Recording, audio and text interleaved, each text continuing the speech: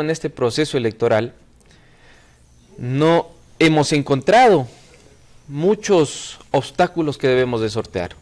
Y legalmente nos hemos encontrado con una campaña de desprestigio terrible. La primera acción cautelar presentada por el señor Ángel Rafael Morales tenía como antecedente la sentencia de acceso a la información pública número 208 de 2018 son 15 acciones de protección presentadas por este grupo. Por este grupo que entendemos en la actualidad... Un plazo de?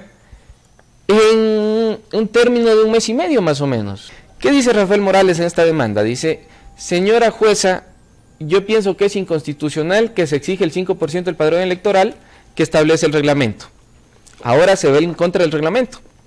Pero para pedir la acción de medidas cautelares inicial que suspendió las elecciones, ahí sí dice que el reglamento era lo fundamental para el postularse. La demanda del señor José Tomás Sánchez se enfoca en que salte el tribunal lo que establece el artículo 55 del reglamento de creación e intervención de universidades, que establece prohibición expresa. Lo que nos preocupa es algo, que mucho se comenta en los pasillos de la, de la universidad, que ellos están muy confiados en, en la participación de él porque están convencidos actualmente, no sé por qué, que la justicia les va a dar la razón.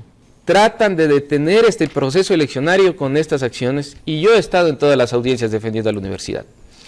Porque el daño que pretenden hacer frenando las elecciones no lo hacen al tribunal electoral, no lo hacen al rector, no lo hacen a los funcionarios administrativos, lo hacen a la universidad. ¿Qué esperamos? Que después de 15 días entre en vigencia la ley orgánica de educación superior y el CES decida una intervención integral de la universidad, ya no en la forma como se mantiene ahora, sino una intervención integral y que todo este tiempo de trabajo sea desechado y vengamos un nuevo periodo de intervención